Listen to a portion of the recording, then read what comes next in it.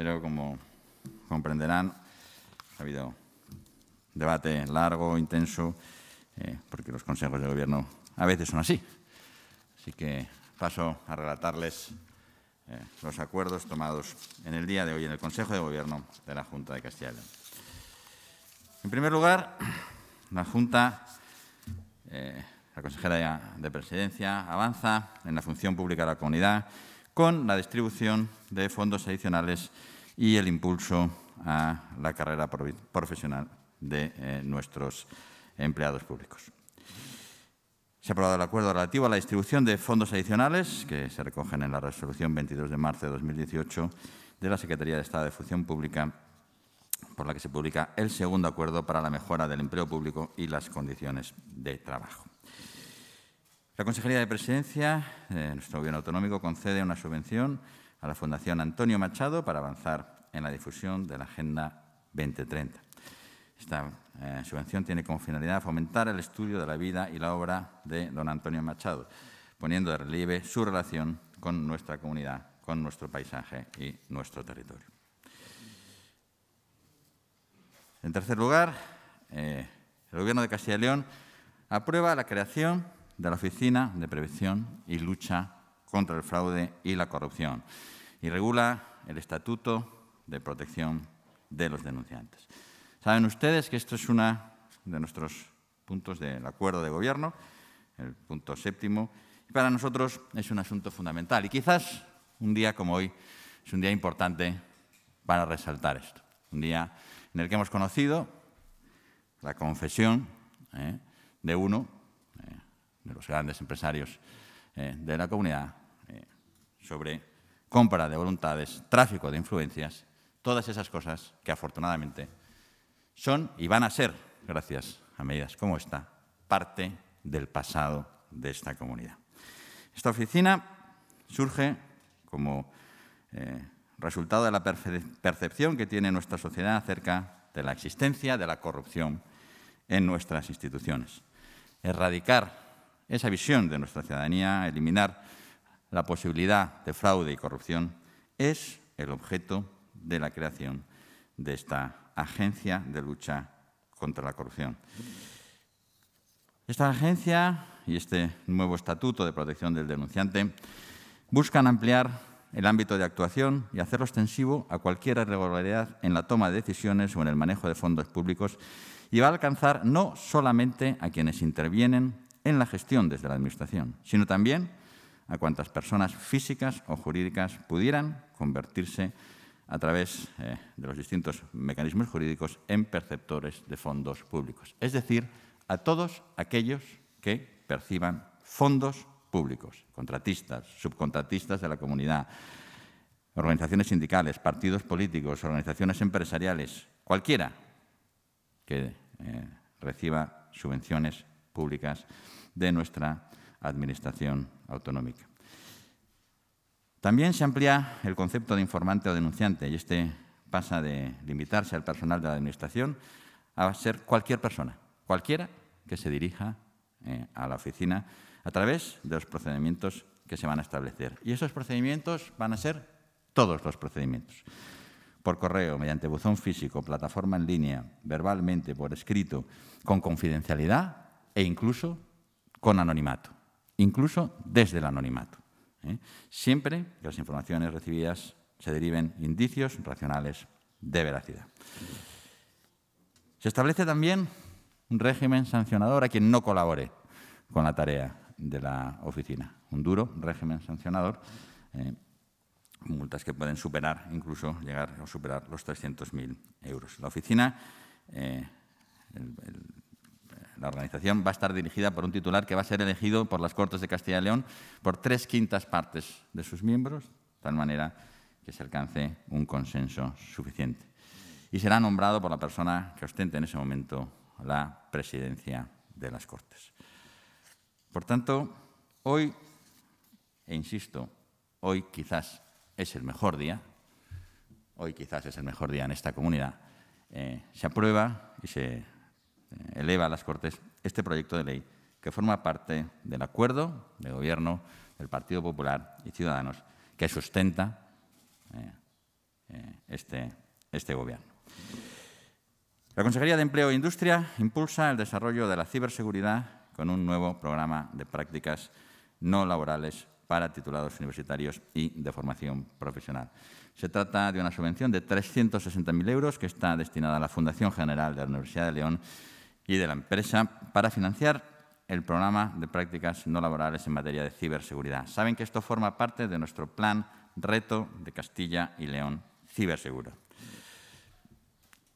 León es un referente en ciberseguridad a nivel nacional, europeo, alberga el INCIBE y se ha configurado como un polo especializado de innovación, digitalización a través del Digital Innovation Hub y cuenta con el clúster de ciberseguridad y de tecnologías avanzadas, lo que da cobertura eh, no solo desde la universidad, sino también eh, desde la iniciativa privada a este tipo de iniciativas. Para nosotros, el plan de ciberseguridad, el reto Castilla y León Cibersegura, es uno de nuestros retos fundamentales, tanto desde el punto de vista de la creación de empleo como desde el punto de vista de la seguridad y de la eficiencia de nuestras empresas.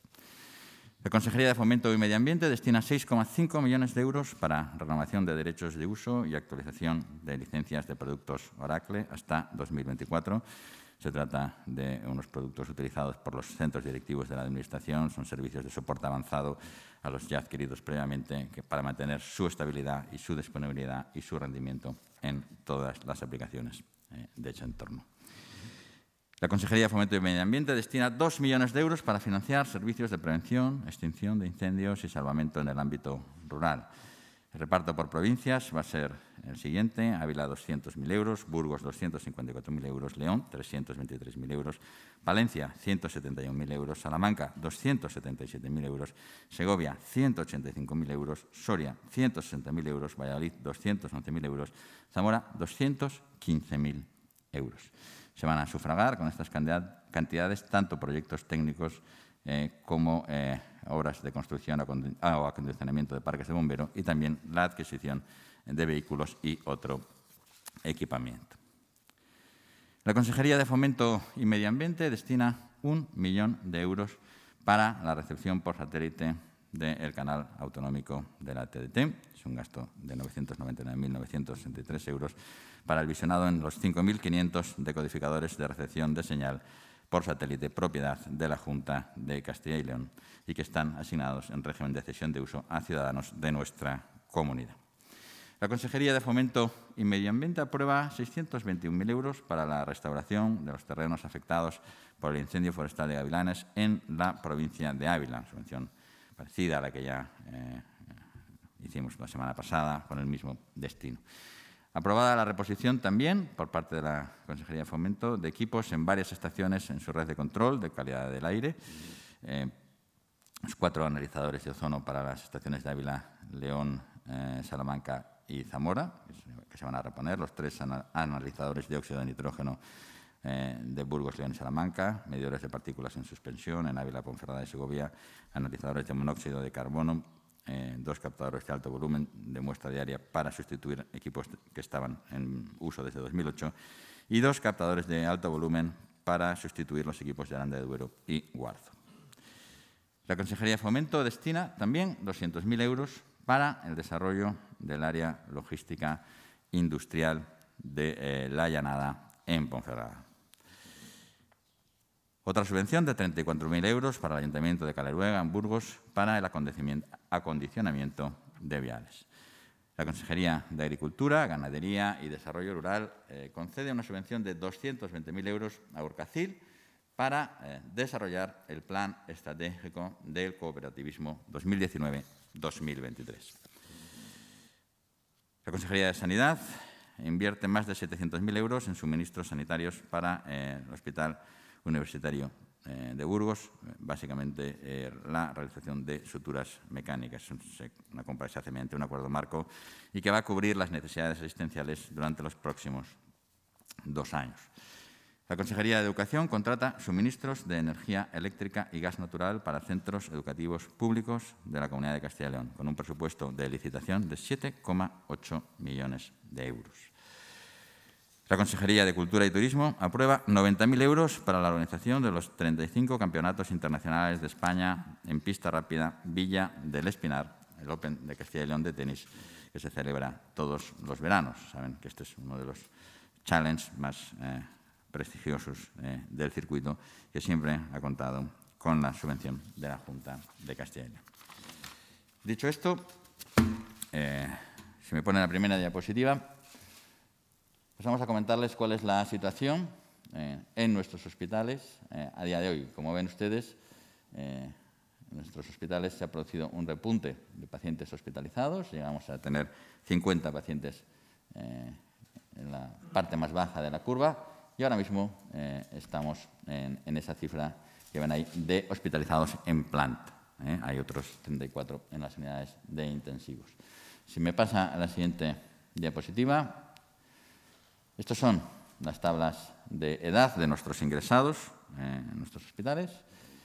Tenemos de 10 a 19 años, está un poco trasladada la tabla, 6 pacientes ingresados, de 20 a 29, 33, eh, de 30 a 39, 44, de 40 a 49, 37, 25 en el tramo 50 a 59, 60 a 69, 33, 70 a 79, 27, 80 a 89, perdón, 80 a 69, 27 y por encima 11. Eh, como ven, eh, en nuestras unidades de cuidados intensivos no hay nadie por encima de los 70 años, son todos, están todos por debajo, 6 del tramo 60-69, 5, eh, perdón, eh, 5 del tramo 50-59 y 8 por debajo de los 50 años, 4 en el tramo de 30-39, 4 en el tramo de 40 a 49. Si me pasa la siguiente diapositiva. Eh, el eh, estado vacunal de nuestros pacientes ingresados, hay 110 pacientes ingresados que no están vacunados, 45 con una dosis y 69 eh, con pauta completa. He de recordarles que en este momento estamos por encima del millón doscientos mil, luego le daré la cifra con precisión, de pacientes con pauta completa. el prácticamente estamos en el 80% de los mayores de 40 años, si no, si no estoy equivocado. Pasa a la siguiente, no sé si creo que no hay más. No hay más. Esta es eh, la situación en nuestros hospitales. Como saben todos ustedes, durante estos días eh, se han producido eh, varias noticias de importancia, entre otras la sentencia del Tribunal Constitucional eh, conocida el día de ayer, aunque aún no publicada, que deslegitima eh, eh, la declaración del estado de alarma como herramienta para producir un confinamiento. He de decirles que yo hoy diré exactamente lo mismo que dije, exactamente lo mismo que dije cuando el Tribunal Superior de Justicia de Castilla y León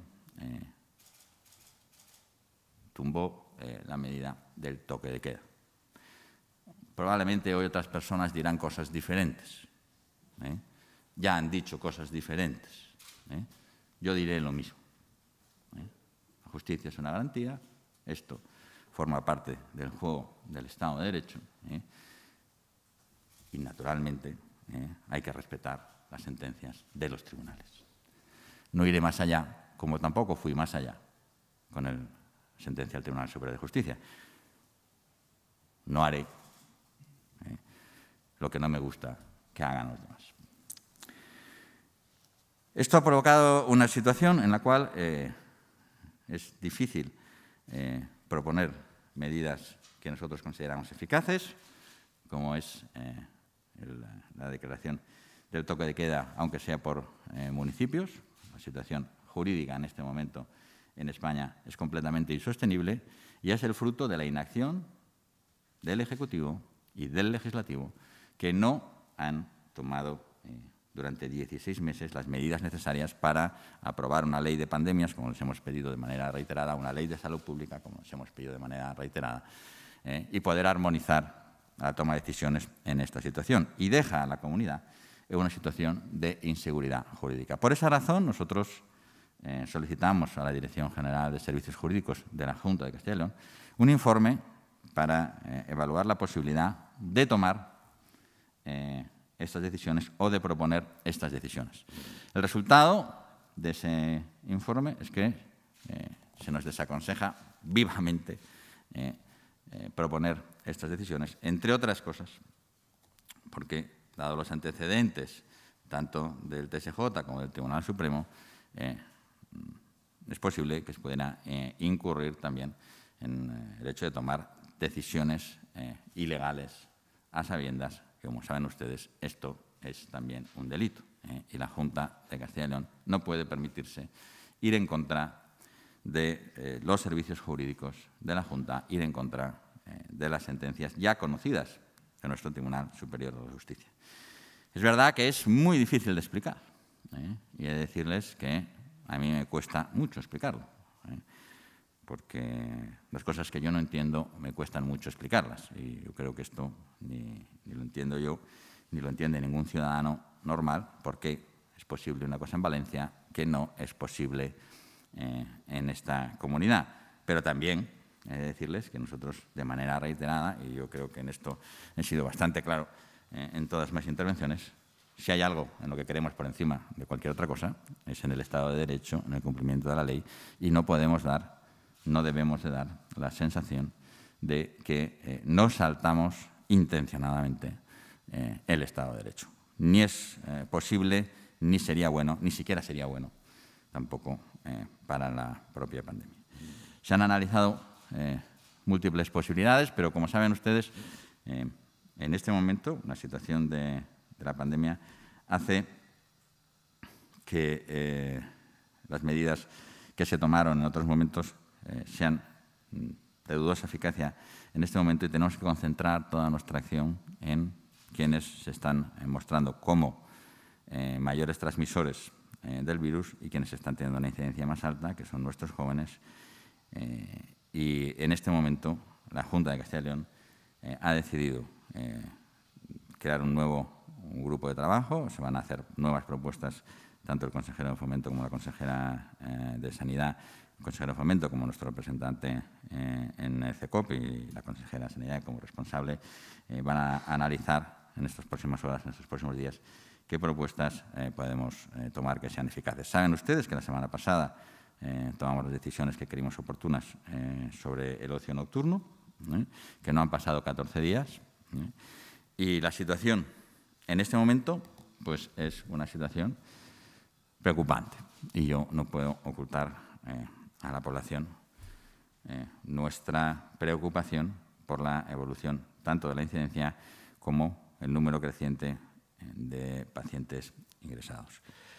Y lo que les pedimos eh, a la población y a nuestros jóvenes es que eh, mantengan el mayor nivel posible de responsabilidad. Lo dijo la consejera esta misma semana.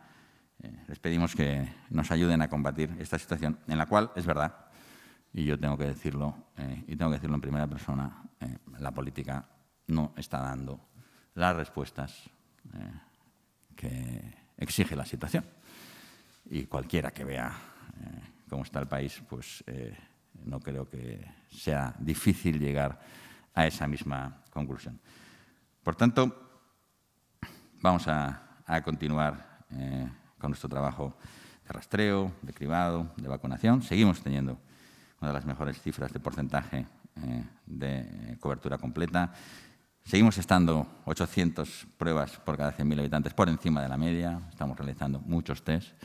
Eh, nuestras tasas de hospitalización por, 100.000 habitantes, es decirlo también para que, en honor a la verdad, la gente esté tranquila, están en la media. Nuestras tasas de hospitalización por 100.000 habitantes y nuestras tasas eh, de ingresados en la UV por 100.000 habitantes están publicadas ayer.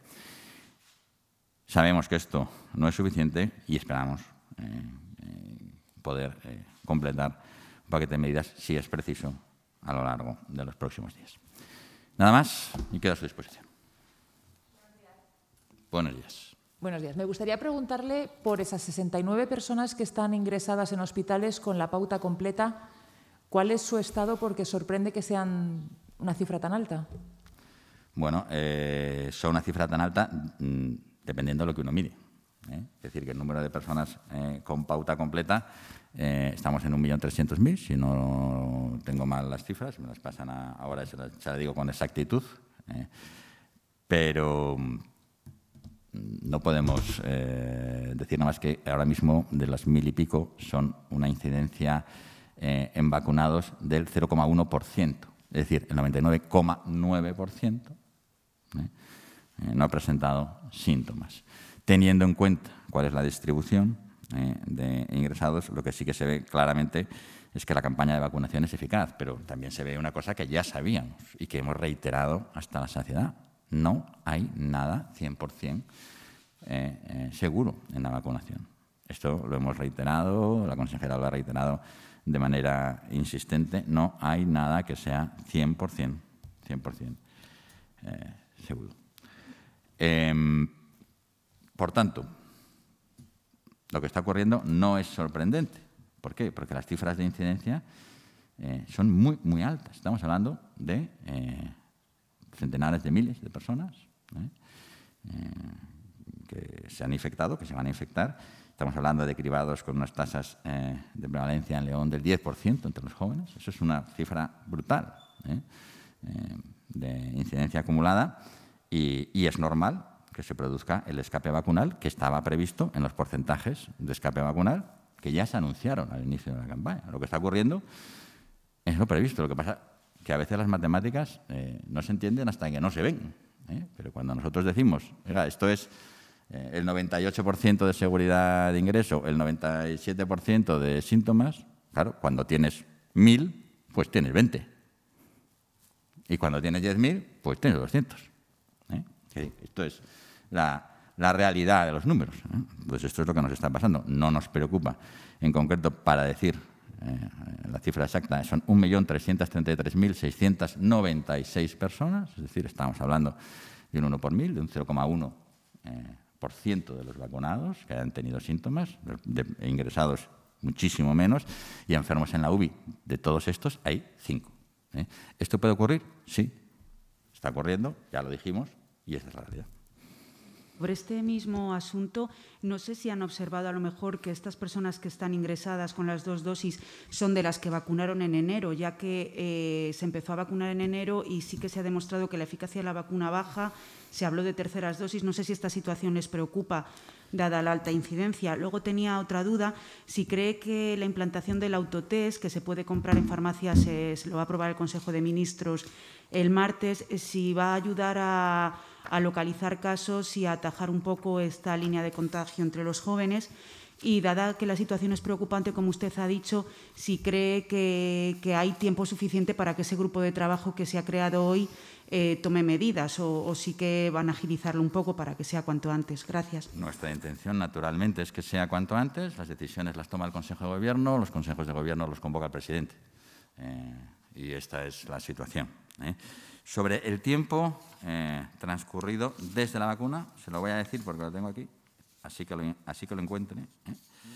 Eh, tiempo entre la primera dosis de vacuna e ingreso, entre 1 y 15 días son 14, son gente probablemente que no ha tenido tiempo suficiente para inmunizarse, entre 16 y 30, 12, entre 31 y 45, 9, entre 46 y 66, entre 61 y 75 días 12, entre 76 y 90 23, entre 91 eh, y 105 9, y luego ya a partir de los 100 días 136 las cifras bajan a eh, cosas anecdóticas. Es más, ingresan probablemente más los más recientes y sobre todo más los que están eh, inmunocomprometidos. De todas maneras, sí que tenemos que realizar un estudio multivariable sobre los ingresos, qué condiciones, qué enfermedades, porque estas cifras lo que hay que hacer es estudiarlas y hay que ver exactamente si hay algún tipo de condición que favorezca eh, esta situación. Para eso están nuestros equipos de salud pública que van a realizar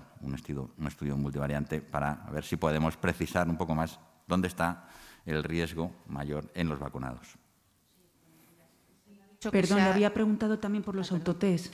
Los autotest, sí, los autotest nosotros esperamos eh, que contribuyan a mejorar el control. Lo único que nos preocupa de los autotest eh, en este momento es la capacidad de nuestra atención primaria para, eh, para poder absorber eh, toda esta enorme carga de trabajo que están absorbiendo. Hay que decir que yo no me cansaré de repetir en el agradecimiento de la Junta, de la Consejería y de todo el Gobierno a nuestros equipos de atención primaria, a nuestros equipos sanitarios, por el inmenso, inmenso esfuerzo que están haciendo. Están soportando la vacunación, el cribado, los test. Eh, la situación es una situación muy compleja eh, después de muchos meses de trabajo y de cansancio. Buenos días. Bueno, usted dice que se ha celebrado un debate largo y intenso, pero un debate que finaliza sin que se llegue al acuerdo de tomar ningún tipo de medidas más allá de la creación de ese grupo de trabajo. No sé si nos podía decir si hay discrepancias en las medidas que Lo se... que le puedo decir es que las deliberaciones del Consejo de Gobierno son secretas.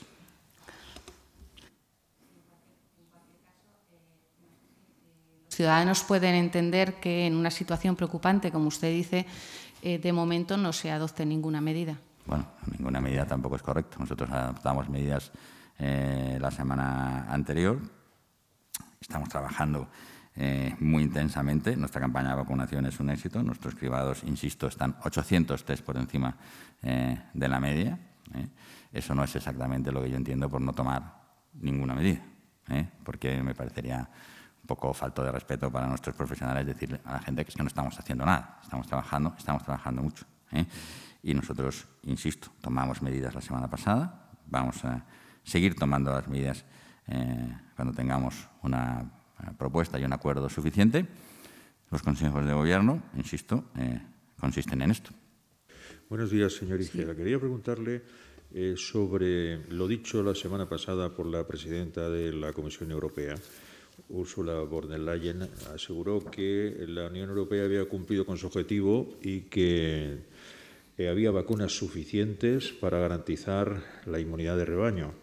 Sin embargo, las vacunas, eh, por parte de los diferentes gobiernos, eh, en el caso de España, mm, según sus quejas, las quejas de ustedes no están llegando a Castilla y León como deberían. ¿no?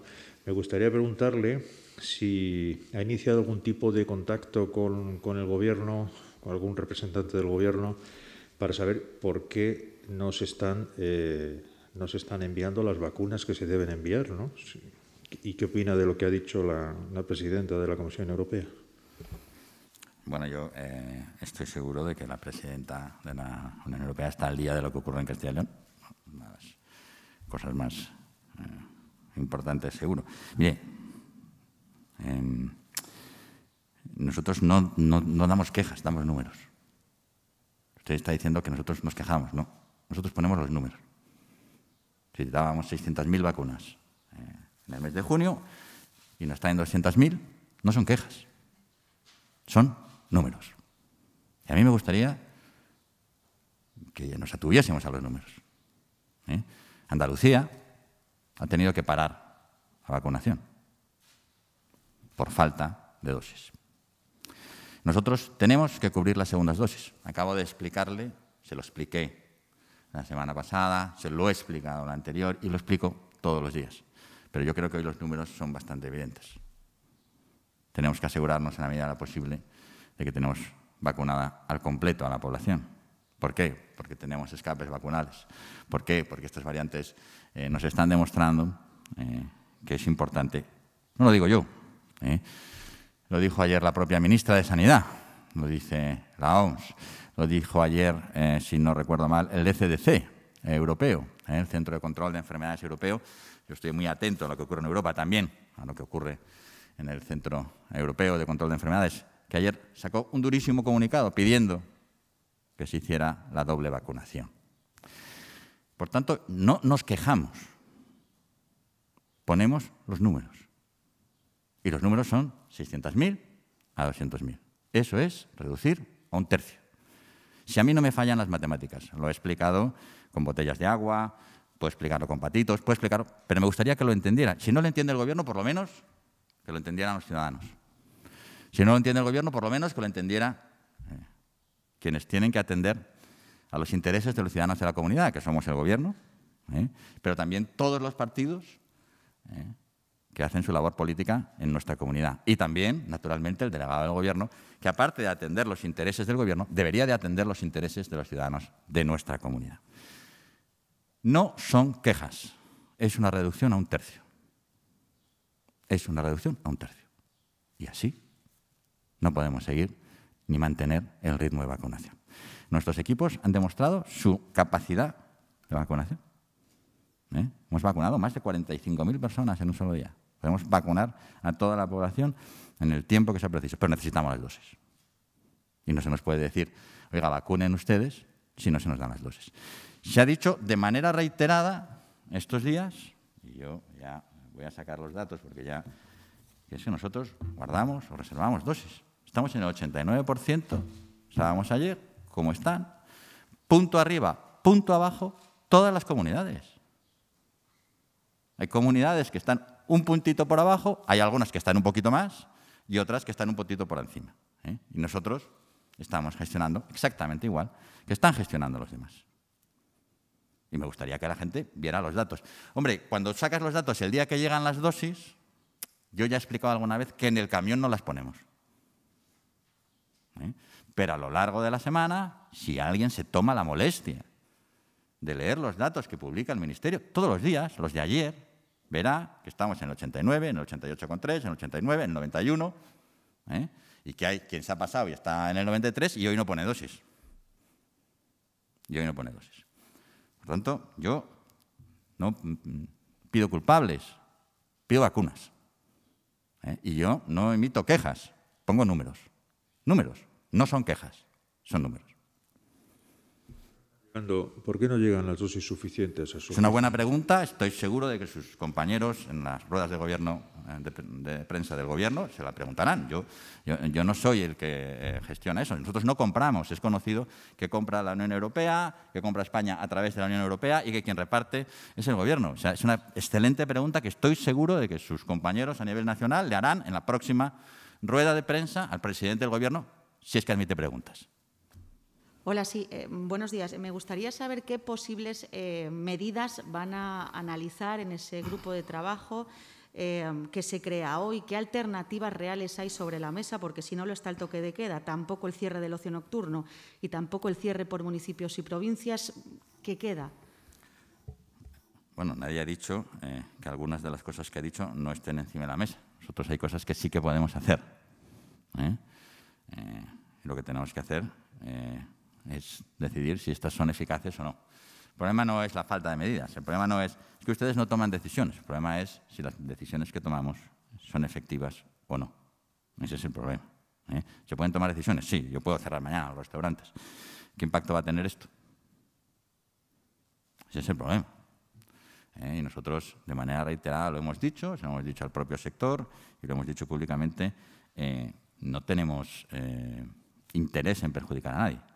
Nosotros sí que hemos dicho de manera reiterada, si yo no puedo controlar eh, a los jóvenes eh, cerrando eh, el ocio nocturno, y la única manera efectiva de cerrar el ocio nocturno es declarar un toque de queda, no lo ha hecho Valencia o no lo ha propuesto Canarias, porque seamos, son gobiernos diferentes, de partidos diferentes, que tienen igualmente en cada una de sus comunidades un consejero de sanidad que llega a las mismas conclusiones que hemos llegado todos. Pero nosotros lo que tenemos es que tenemos un Tribunal Superior de Justicia de Castilla y León que ya nos ha dicho claramente qué es lo que hay, un Tribunal Supremo que ha dicho qué es lo que hay, y a mayores, de ayer, un Tribunal Constitucional que ya ha dicho lo que hay. Es muy difícil eh, pedirnos que tomemos medidas eh, cuando no tenemos la herramienta. Eh. Entonces, lo que necesitamos, y llevamos 16 meses expidiendo la herramienta, 16 meses, que ya está bien. Y lo que sí que está claro es que se aprobó un semáforo eh, con un conjunto de medidas que en su día parecían eficaces. Eh, ahora crean otro grupo de trabajo para estudiar otras medidas fuera de ese semáforo. Mm, ¿Cómo se puede explicar esta situación a los ciudadanos? Porque con esta incidencia y estos ingresos, en otras ocasiones sí que se ha aplicado el semáforo. Sí, podemos aplicar el semáforo, insisto. ¿El semáforo en qué consiste? Eh, en castigar unos sectores en los cuales no están mayoritariamente los jóvenes. Las circunstancias cambian porque la vacunación ha hecho cambiar el comportamiento y ha hecho cambiar el foco de la incidencia. Y nosotros tenemos que tomar más decisiones que, afecten a dónde está eh, la incidencia. La tipología de casos es completamente diferente. El comportamiento de la curva es completamente diferente. Nosotros tenemos que justificar nuestras medidas también de acuerdo al nivel de riesgo. ¿eh? Eh, no es el nivel de riesgo el de 2.000 personas ingresadas en las camas de hospital, es el nivel de riesgo de 250, que son muchas, que son muchas, pero no es el nivel de 2.500. Si yo voy a un tribunal, tengo que justificar el nivel de riesgo, lo hemos visto todos estos días. De hecho, ayer lo dice la sentencia del TSJ en Canarias, no existe ese nivel de riesgo. ¿eh? Por tanto, la situación es diferente, la situación es compleja, eh, no tenemos herramientas, no hay una manera eh, de coordinar las decisiones y tenemos esta situación que es verdad que es difícil de explicar, yo insisto, a mí me cuesta explicarla, me cuesta mucho explicarla. El trabajo que han acordado crear, ¿con qué periodo de, con qué periodo de trabajo? Se va a reunir hoy mismo. ¿Y pero con qué eh, periodo va a trabajar? Bueno, vamos a ver si llegamos a tomar decisiones. Hoy luego ya hablamos de la periodicidad, vamos a ver eh, cómo podemos avanzar en la toma de decisiones, pero de momento lo que se va a reunir es hoy mismo. Ese grupo de trabajo, además del consejero de Fomento y la consejera de Sanidad, ¿por quién está formado? Los técnicos de la consejería y todos los equipos eh, que están encargados de los asuntos de protección civil. Sí, pero ¿saben ya mm, qué medidas podrían adoptar? Si nos pueden avanzar alguna, porque no sabemos el margen que No voy a avanzar ninguna medida que no pueda confirmarle mañana. Bastante lío hemos organizado. ¿Pero es posible que mañana tomen alguna medida de cara al fin de semana? Las medidas, si son, requieren acuerdo del Consejo de Gobierno, tienen que ser tomadas en el Consejo de Gobierno. El Consejo de Gobierno lo convoca el presidente. Si el presidente entiende que hay que convocarlo, lo hará. Pero entiendo que si, que si esas medidas eh, ustedes están seguros que no son eficaces, eh, que lo ha dicho ahora, esas medidas de las que estábamos hablando ahora, no serán medidas, que se vayan a tomar. Algunas de esas medidas entendemos que no son eficaces, otras son más o menos dudosas, otras eh, hay, que, hay que valorarlas. Por eso le insisto que cuando se haya tomado una decisión, que las decisiones se toman en el Consejo de Gobierno y el Consejo de Gobierno, insisto, lo convoca el presidente, se tomarán las decisiones. Pero de esa afirmación que acaba de hacer debemos entender que no comparte el presidente la misma preocupación que, que, nos ha trasladado no, no, no, situación no, no, para no, tomar medidas hoy. En ningún momento he dicho yo, porque sería falso, que el presidente no comparta nuestra preocupación. No, lo creo. ¿eh? Si lo creyese así, no estaría hablando con usted. Buenas tardes. Quería preguntarle cómo afecta la decisión del Constitucional a, las sanciones que se han puesto en Castilla y León. Si, algunas han cobrado, si hay que devolverlas, eh, no sé, si tiene hecho un cálculo. No, no tenemos hecho el cálculo, entre otras cosas, porque todavía no está publicada la sentencia. ¿eh? Tenemos que leer la sentencia en su integridad y nuestros servicios jurídicos tendrán que determinarlo. Nosotros tendremos que trasladar esa información a nuestra contabilidad también para ver eh, qué es lo que supone. La sentencia de ayer y está sin publicar. Déjanos eh, que la veamos. Pero se sabe cuántas sanciones se puso y el montante económico que supuso? En este momento es que hay que ver qué tipo de sanciones son recurribles, que no, si van a ser solo las recurridas. Es que es difícil de estimar un cálculo en este momento hasta que no leamos, insisto, eh, la sentencia. Sí, no sé si está sobre la mesa medidas similares aquí a las que, a las que ha propuesto Euskadi o, o Galicia con el tema de las PCRs en ocio nocturno y el control de aglomeraciones en Euskadi. Y luego quería preguntarle también por eh, las, eh, los controles en los cines y no sé si en restauración a lo mejor también se va a aplicar para hacer seguimiento de, posibles brotes. Por lo menos en los cines sí que se, se está empezando a pedir solicitudes para, mm, para, formularios para rellenar. Y también quería preguntarle por eh, la, la, confesión de Ulibarri, porque ayer publicaba un tuit, no sé si puede profundizar, si pueden peligrar las subvenciones o ayudas de, las empresas que dependen de, de Ulibarri o, a qué se refiere. Gracias. Muy bien. Bueno, pues eh, empezando por la pregunta de la especie de resolución nocturna. El problema es que nosotros, como ya le he explicado antes, eh, nuestra atención primaria está muy, muy, muy sobrecargada, muy sobresaturada. Yo eh, he de decir que me costaría explicarles a, a los equipos de atención primaria que necesitamos hacer más PCRs para que la gente pueda salir al ocio nocturno. Eh, yo he de decirles que a mí esto me iba a costar mucho explicárselo a nuestros equipos de atención primaria. ahora métase usted un 10, un 20% más de pruebas para que la gente pueda salir de copas. Yo entiendo que esto sería un poquito eh, irracional, por decirlo eh, suavemente. Por tanto, esto de momento nosotros no nos lo planteamos. Sobre la utilización de otros dispositivos como pues la, aplicación del SACIR Conecta, los certificados de vacunación. Eso es una cosa que está encima de la mesa y que habrá que estudiar si esto es viable o no. También es verdad que hay gente en el sector que se queja de la sobrecarga que esto puede suponer. Hay que valorarlo. Probablemente eso es una de las cosas que hay que valorar también con el propio sector. y sobre el asunto que me pregunta sobre la sentencia de Uribarri. Mire, eh, nosotros tenemos un acuerdo de gobierno que incluye una serie de cosas eh, eh, en el caso de que alguien sea condenado por corrupción. Y todas estas cosas se han de cumplir y se van a cumplir, porque para eso está el acuerdo del Consejo de Gobierno. Sobre este asunto en particular, mire, también le voy a decir una cosa porque también pues hemos aguantado algunos mucho, mucho tiempo mucho. Hemos aguantado cosas muy duras durante unos cuantos años. Yo hace, no recuerdo ya son tres años o cuatro, escribí un artículo en un medio local que se llamaba Un silencio espeso. Yo lo recomiendo a la gente que se lo lea. ¿eh? Y que se lo lea y que lea la confesión hoy de una persona que él confiesa públicamente que compraba voluntades de políticos para obtener beneficios. Yo voy a decir una cosa, me alegro mucho de no haber estado nunca en la lista de la compra de Uribarri. Mucho. ¿eh? Me alegra poder mirar a los ojos a los ciudadanos de esta comunidad y decirles, mire, yo nunca estuve en esa lista de la compra. ¿eh? Nunca estuve.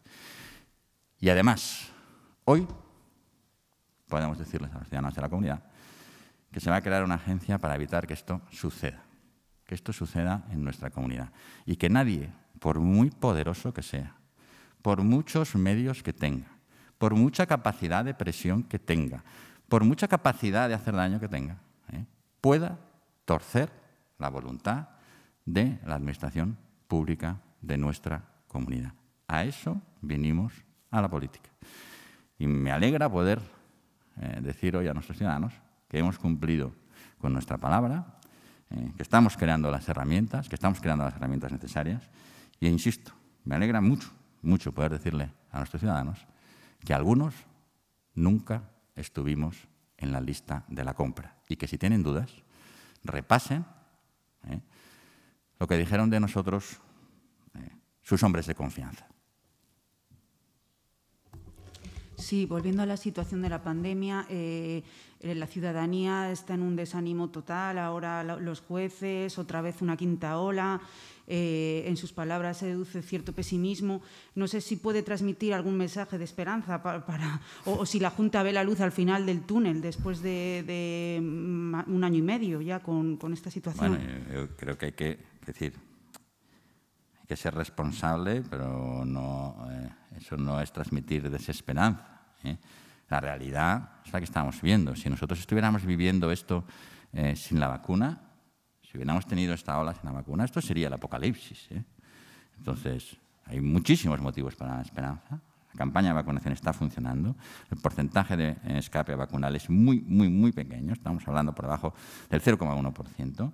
Cuando hayamos vacunado a nuestra población, esto se va a acabar y solo necesitamos que nos lleguen las dosis para eh, poder acabar eh, con esto.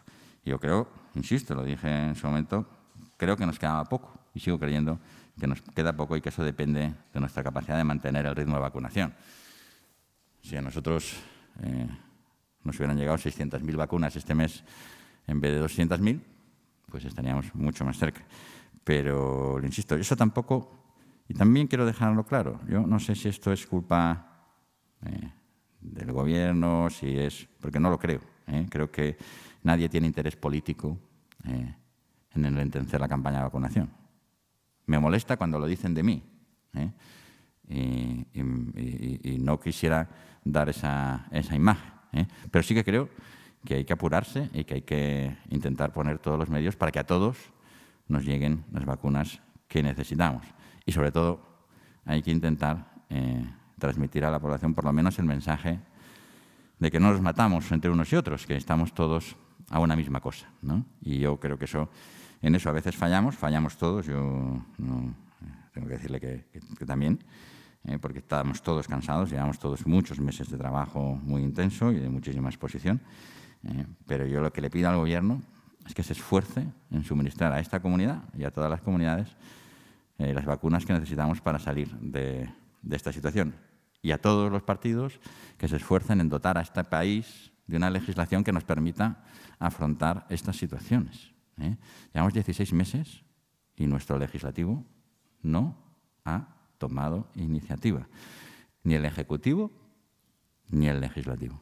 ¿eh? Y yo creo que va siendo hora de que se produzca una reforma de la ley de salud pública o una ley de pandemias, o llámelo usted como quiera, pero que nos proporcione una herramienta, una herramienta a todas las comunidades para eh, poder eh, afrontar estas situaciones.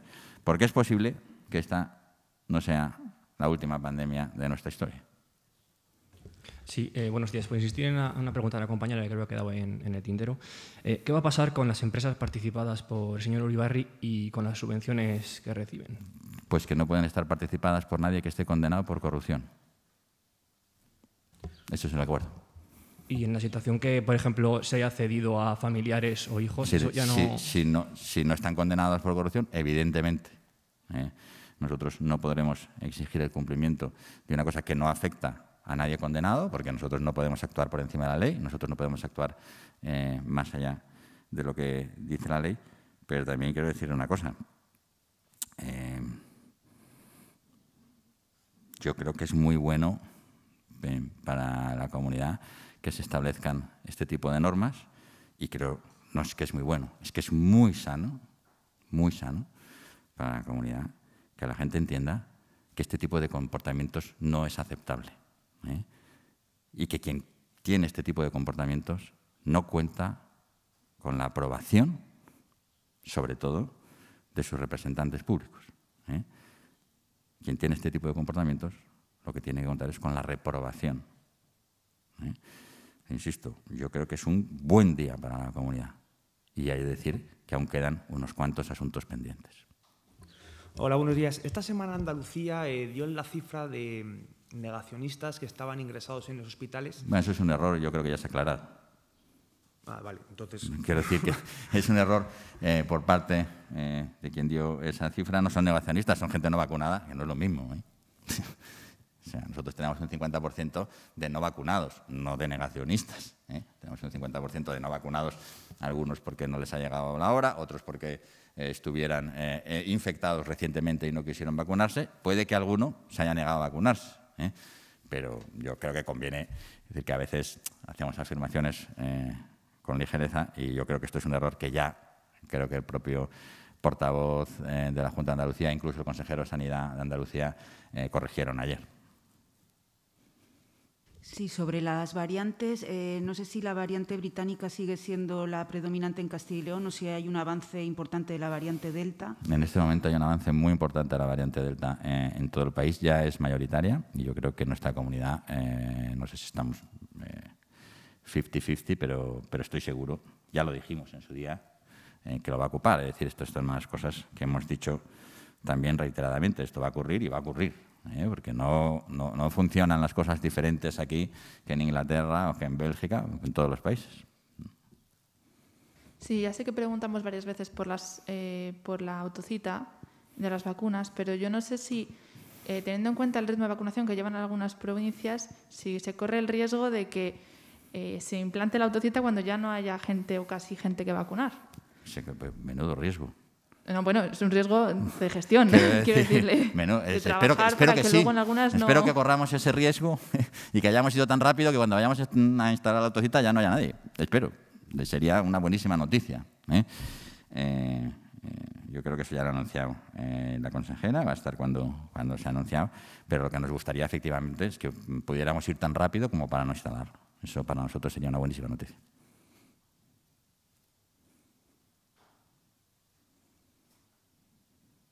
Si no hay más preguntas en la sala, vamos a dar paso a los compañeros que nos siguen por videoconferencia.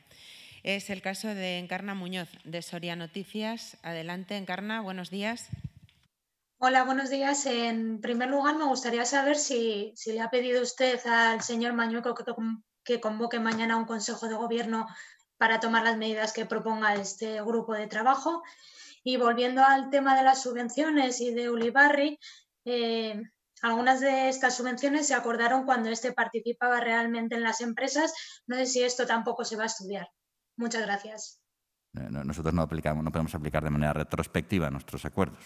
¿eh? Es, una cosa complicada. ¿eh? Otra cosa es lo que a uno le gustaría o no, ¿verdad? Pero eh, no podemos aplicar de manera retrospectiva. Y yo no le puedo pedir al presidente que convoque una, un consejo de gobierno hasta que no tengamos claro cuáles son las medidas que vamos a proponer. No, no, no, no convocamos por si acaso. tenemos la agilidad suficiente para hacerlo cuando, cuando sea necesario.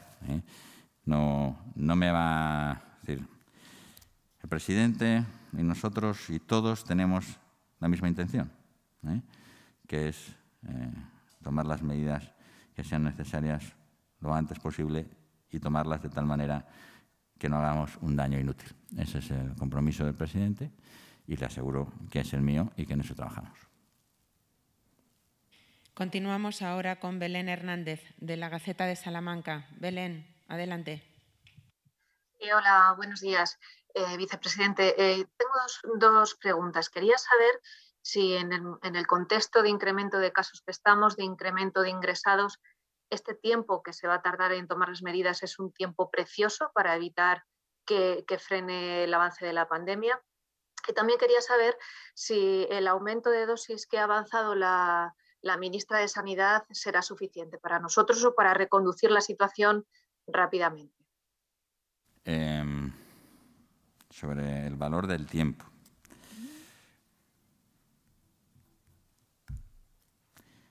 ¿Cuánto vale la vida de una persona?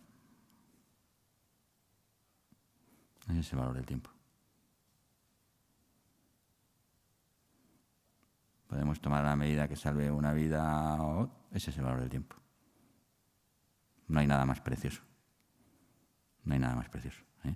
Pero tenemos que hacer cosas, insisto, que sean posibles que sean viables jurídicamente eh, eh, y que salven vidas. A nosotros, mm, insisto, hace unos meses se nos criticó por tomar una medida eh, y se nos criticó mucho, se nos pidió la dimisión por tomar una medida que después tumbaron los tribunales. He de decirle que duermo perfectamente tranquilo con aquella medida. Estoy muy tranquilo, mucho. Em, sobre las dosis, ¿se van a ser suficientes? Las dosis anunciadas están en agosto, estamos en 15 de julio. Me gustaría que vinieran un poquito antes, ¿eh? porque como hemos visto, eh, para inmunizar a la gente hay que poner una dosis, después otra tres semanas después y después esperar dos semanas. Eso eh, nos mete ya muy avanzado septiembre, casi finales de septiembre. Por tanto, lo antes que lleguen, yo lo que le pido a la ministra es toda la celeridad posible en el suministro de las vacunas para poder acabar esto cuanto antes. Pues vamos a cerrar el turno de preguntas de hoy en Zamora con Luis Garrido, de La Opinión. Cuando quieras, Luis. Hola, buenos días, vicepresidente. Eh, le quería preguntar, ha comentado antes que, bueno, que atención primaria es evidente que está sobrecargada. A sus funciones habituales se le suma toda la tarea de, rastreos, de, llamadas de posibles contagios, de llamadas de contagios. Ahora vienen los desplazados, eh, tienen que cubrir vacaciones. Quería preguntarle si, aparte de, ese agradecimiento que ha extendido de, parte de, todo el gobierno de Castilla y León, si está previsto eh, bueno, pues complementarlo con algún tipo de refuerzo de la plantilla. Muchas gracias. Vamos a ver, si nosotros eh, hemos hecho, hemos agotado todas las bolsas, hemos agotado todas las bolsas. ¿eh? Eh, hemos convocado todas las plazas que teníamos, hemos agotado todas las bolsas y yo no, podemos prometer lo que no está en nuestra mano, desgraciadamente. Desgraciadamente. yo, la verdad es que es, una situación muy, muy, muy compleja en la cual pues, la gente se está, se está agotando y nosotros pues tenemos que hacer lo posible, aparte de, eh, efectivamente, de agradecerles y de reconocerles. Pero es que lo posible es lo posible. ¿eh? Lo que no es posible es que no podemos hacerlo. Pues si no hay ninguna pregunta más, hemos llegado al final. Gracias. Muchísimas gracias.